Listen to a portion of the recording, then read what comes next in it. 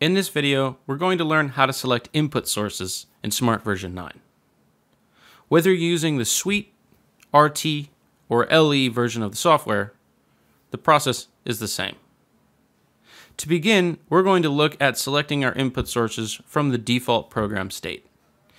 If your Smaart is not at the program defaults, you can return to defaults by going to the Config menu, clicking Manage Configurations, and then clicking the Restore Defaults button. When I select Yes, the program has reset itself to defaults.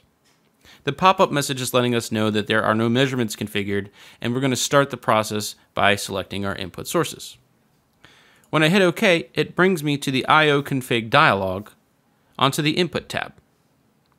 Now, I can return to the IO config dialog at any time when I'm using the program simply by going to the config menu and choosing IO config.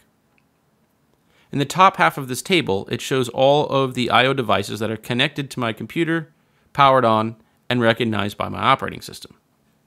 In previous versions of Smaart, Smaart would scan for connected I.O. devices when the program was launched. And so if the device was not connected, powered on, and recognized at that time, it wouldn't show up in this table.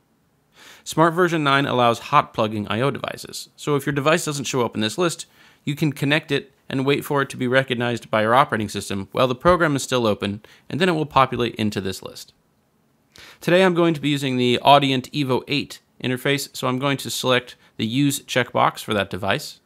And when I do that, it adds a tab to this table at the bottom, showing all of the available input sources from that device.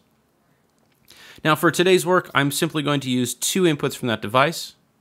So I'm going to leave 4 and 5 selected and deselect the rest. And I can see that my device is connected and functioning properly because I can see the input signal for my microphone on the input meter. The last thing I'm going to do before I close this dialog is give my inputs friendly names so I can recognize them wherever they show up in the program. Since input 4 is my microphone, I'm going to call it mic. Then I'm going to hit enter to set the name and drop me down to the next one, which I'm going to name loop in. Now that I've hit enter again to set both names, I can close this dialog. And we see that Smaart has created a spectrum engine for me automatically for each input that I selected. Now I'm ready to begin my work.